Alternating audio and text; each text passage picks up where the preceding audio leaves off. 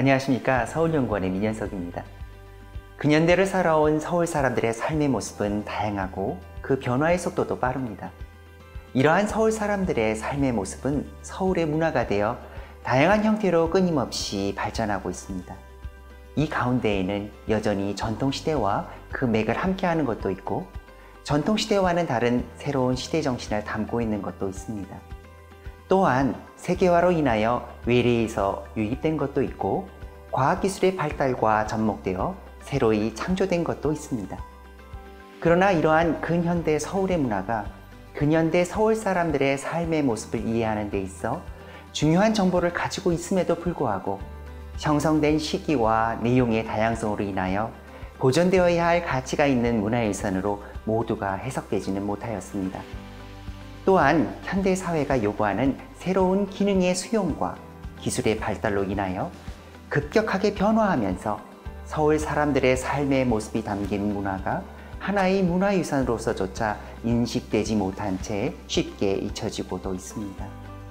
2001년 도입된 등록문화재 제도는 이러한 흐름을 반영하는 새로운 시도였으며 이로 인하여 많은 서울 시민이 근현대 문화유산에 대한 관심을 갖게 되는 계기가 되었습니다. 그러나 등록문화재 제도는 문화재 보호법에 의한 문화재로 여전히 기존 문화재 보호 방식과 같이 전문가의 절대적인 시각과 획일적인 법 제도의 틀 속에서 수동적인 방식으로 보존될 수밖에 없었던 현실적인 한계가 있었습니다.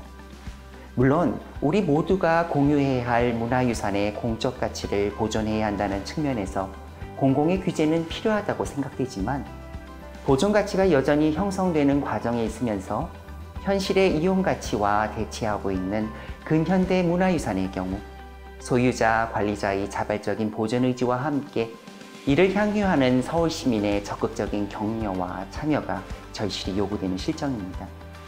이에 서울시는 2012년부터 서울 미래유산을 통하여 소유자, 관리자에게 문화유산이 가지고 있는 고유의 가치를 알려주고 스스로 지키고 가꾸어 나가는 일에 자긍심을 부여해주는 정책을 추진해 오고 있습니다. 서울 시민에게도 서울 미래유산을 통하여 서울 시민이 함께 만들어갔던 근현대 서울의 기억과 감성을 알려줌으로써 서울 미래유산의 소유자, 관리자에게 그동안의 노고를 감사하고 이들의 노력을 지원하는 데 동참할 수 있는 계기를 제공하고 있습니다. 한편 미래 세대에게 서울 미래유산을 통하여 기성세대가 공유하는 근현대 서울의 기억과 감성을 전달하고 이를 소재로 미래 세대만의 새로운 문화 코드를 재생산할 수 있도록 다양한 문화 사업을 진행하고 있습니다. 이를 통하여 세대 간의 이해의 폭을 넓히는 동시에 서울의 문화적 저변을 보다 넓힐 수 있는 계기로 서울 미래유산을 활용하고자 노력하고 있습니다. 이제 근현대를 살아온 서울 시민과 함께하는 공통의 기억과 감성인 서울 미래유산의 발전 과정에 대한 이야기를 시작해 보도록 하겠습니다. 서울 미래유산은 도시개발로 인하여 급격하게 사라져가는 근현대 서울의 기억과 감성에 대한 아쉬움에서 시작되었습니다. 역사적, 학술적, 예술적 가치를 획득한 문화재는 급격한 도시의 변화 속에서도 강력한 법제도라는 보호장치를 통하여 유지 관리되고 있습니다. 그러나 문화재가 아닌 문화유산의 경우 그 가치가 인정받기도 전에 사라지거나 경제적 논리에 의한 개발의 걸림돌로 간주되어 등한시되는 실정입니다. 그래서 서울 미래유산에서는 서울 시민이 보편적으로 가지고 있는 근현대라는 시대적 기억과 감성이라는 부분에 집중을 했습니다. 우리가 살면서 경험하고 만들어 온 기억과 감성은 시간이 지나면서 사라지는 것이 당연하고 또한 그래야만 건강한 삶을 영위할 수 있습니다.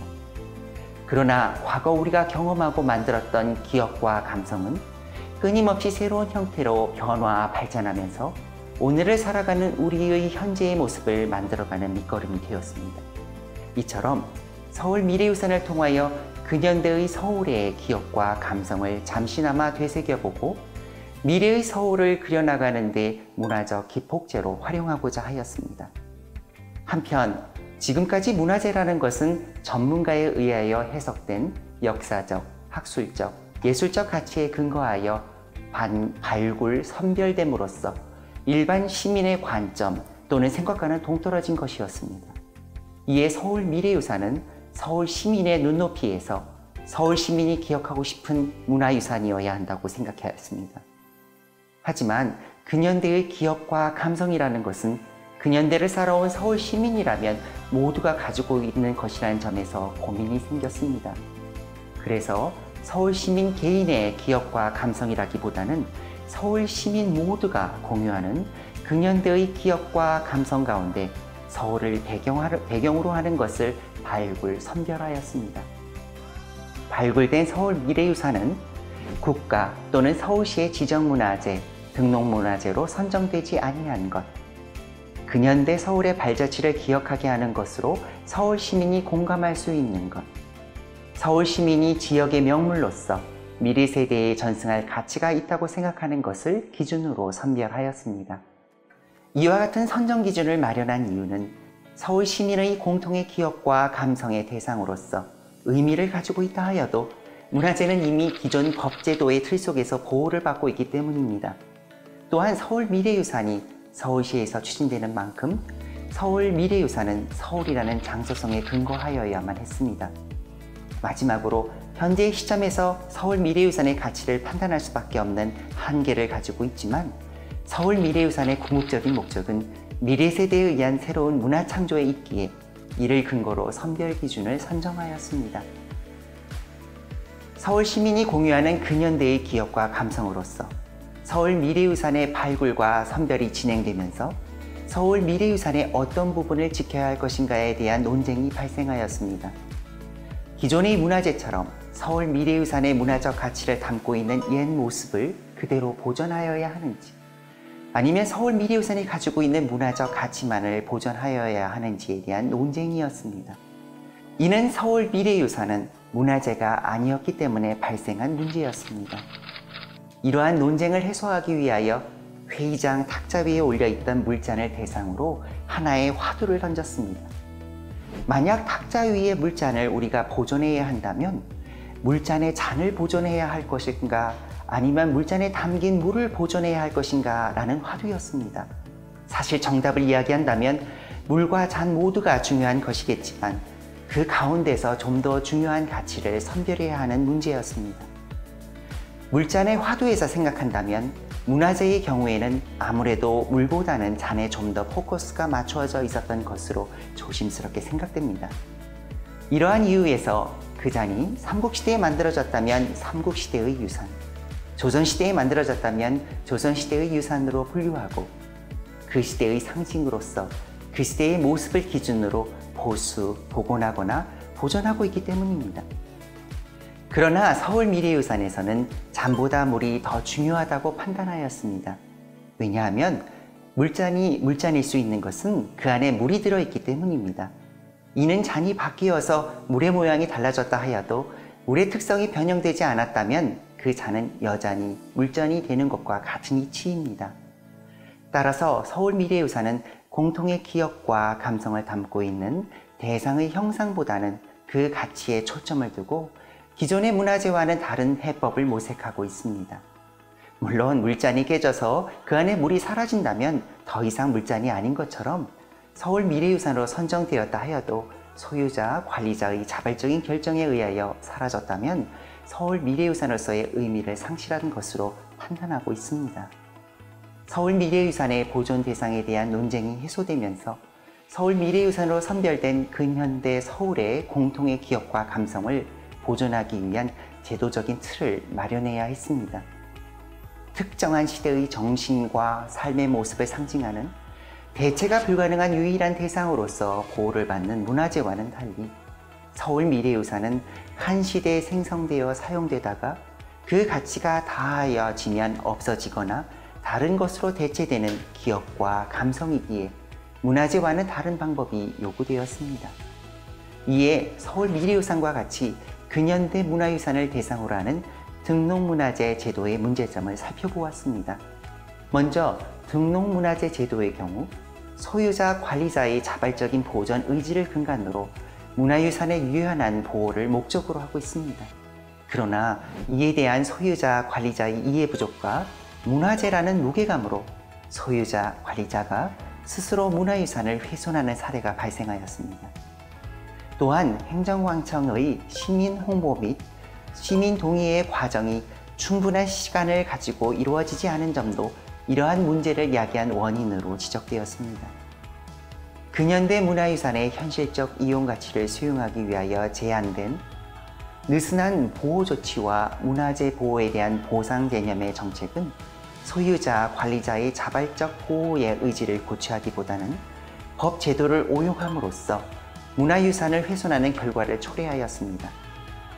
등록문화재 제도가 보수비 지원이나 세제 감면, 규제 완화 등의 인센티브를 받을 수 있는 수단으로 인식되면서 공공의 지원만을 목적으로 등록하는 사례가 나타났으며 지정문화재에 비하여 보다 완화된 보호 조치를 받을 수 있는 등록문화재로 등급을 낮추어 등재하는 움직임도 나타났습니다.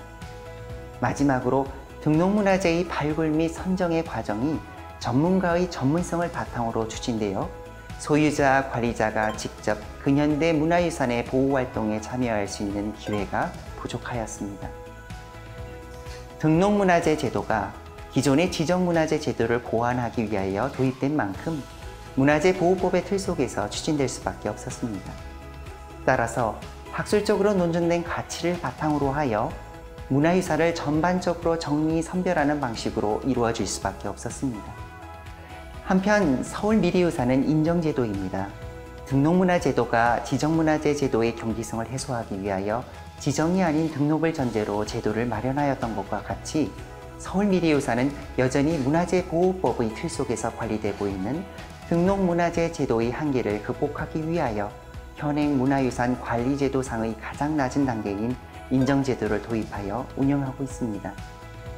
서울 미래유산에서는 소유자 관리자의 직접적인 보존 행위를 지원하기보다는 소유자 관리자의 자긍심을 높일 수 있는 간접적인 홍보 방식을 진행하고 있습니다. 이는 그동안 신문 지면을 통하여 서울 미래유산의 한계로 비판받아왔던 점이지만 서울 미래유산이 소유자 관리자의 직접적인 지원을 하지 않는 것은 기존 제도의 이러한 문제점을 해소하기 위한 것이었습니다. 기존의 문화재 제도는 전문가가 중심이 되어 역사적, 학술적, 예술적으로 가치가 있는 문화유산을 발굴하고 선별하는 것이었습니다. 그러나 서울 미래유산은 전문가의 관점이 아닌 문화유산을 직접 소유, 관리하고 이를 향유하는 서울 시민의 관점에서 문화유산을 발굴하고 선별하는 제도입니다. 지금까지 우리나라의 문화유산 보호 및 관리는 중앙정부의 소관이었습니다. 그러나 서울미래유산은 지방자치단체인 서울시가 자체적으로 나서서 서울 시민의 시각에서 문화유산을 관리하는 첫 번째 시도였습니다. 이와 더불어 지금까지 공통의 기업과 감성의 보존에 대한 학술적 연구는 많았습니다. 그러나 행정이 나서서 공통의 기업과 감성을 보존하기 위한 정책을 마련하고 실천한 것 또한 서울시가 처음이 아닐까 하는 생각이 듭니다. 결국 서울 미래유산을 갖고 오는 일은 서울 시민 스스로가 서울 미래유산의 가치를 확인하여 유지 관리하는 것입니다. 그리고 서울 시민 스스로가 서울 미래유산의 가치를 지켜나갈 수 있도록 전문가와 행정이 지원 해법을 제시하는 것입니다. 하지만 이러한 서울 미래유산의 보존 원칙을 2013년에 처음 발표하였을 때 많은 비판이 있었습니다. 현실을 반영하지 못한 너무나도 이상적인 원칙이 아니냐는 비판이었습니다. 그러나 저는 서울 시민의 힘을 믿습니다. 비록 물이 연약하고 유연할지라도 오랜 시간 바위와 부딪히면서 바위를 깎아내고 저 자신의 길을 만들어내는 것과 같이 시간이 지나면 서울 시민 스스로가 서울 미래유산에 담긴 가치를 찾아내고 그 가치에 대한 시민사회의 동의와 공유를 이끌어낼 것입니다. 어떤 미래유산은 시민사회의 동의를 바탕으로 지켜지거나 미래 세대의 문화적 소재로 재해석되어 발전해 나가겠지만 어떤 것들은 기회를 살리지 못하고 사라지는 유기체의 성격을 부여받게 될 것입니다. 그러나 이러한 시행착오의 과정은 서울 미래유산이 문화유산을 보존하는 하나의 실천적 방식이 되어 시민사회에 자리 잡게 되는 밑거름이 될 것입니다. 감사합니다.